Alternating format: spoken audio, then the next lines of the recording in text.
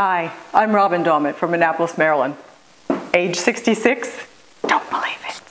I'm a rookie gardener with a whole lot of land to figure out what the heck I'm doing.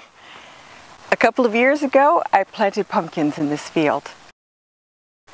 And they took over, and at the end, I got six pumpkins. It wasn't worth it. Beautiful blossoms, which I stuffed, and they were yummy. This year, I decided I want a whole field of lavender a whole field of lavender. I'll see you back here later in the summer so I can show you whether or not I figured out how to grow lavender.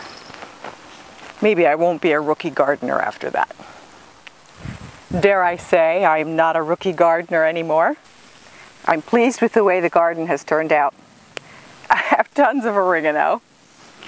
My lavender has done beautifully. I've only lost one plant We have sage up here, which is doing beautifully.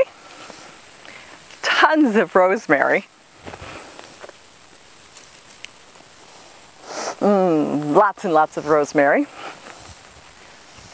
Beautiful butterflies, lots of bees. They're all very happy here. I even put some fennel in the ground. It's time to dry everything, so I'll have herbs for the rest of the winter. Come find me in the greenhouse next. Come on in. I have a beautiful abundance of rosemary. And when it's dry, the smell and taste is even stronger than it is when it's fresh. Lavender, I use it both in spices, I use it in desserts, Mint, the mint, I love mint in my tea, I love mint in my tzatziki, I love it in lots of things. So I have lots of mint. Oregano.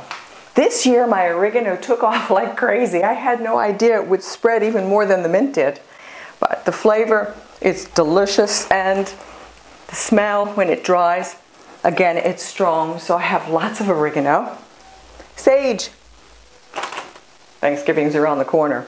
So I will have lots of sage for stuffing and that is drying beautifully. And then we have the regular Italian basil, which I love. It's so aromatic. And yes, I have had a great summer playing in the dirt. I was a rookie gardener in the spring. I'm not a rookie gardener anymore. This is so much fun. Thank you for sharing in my gardening experience this summer. It's been a lot of fun. I hope you enjoyed it too.